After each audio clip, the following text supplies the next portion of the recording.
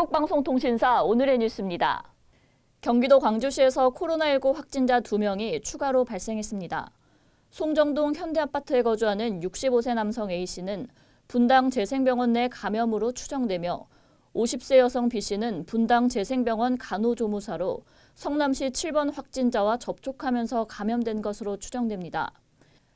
A씨는 지난달 25일 분당 재생병원에 입원 후 용인시 소재 디자인 업체 거래처를 방문했고 이후 오포읍 삼성 부품 대리점을 방문해 보건소 검체 채취 후 확진 판정을 받았습니다. B 씨는 지난 5일 지하철 서현역과 임해역, 경기 광주역을 거쳐 20번 버스를 탑승한 후 자택으로 귀가했고 이후 6일에는 분당 재생병원 62병동에서 근무 후 현재는 자가격리 조치 중입니다. 지금까지 KBCS 뉴스였습니다.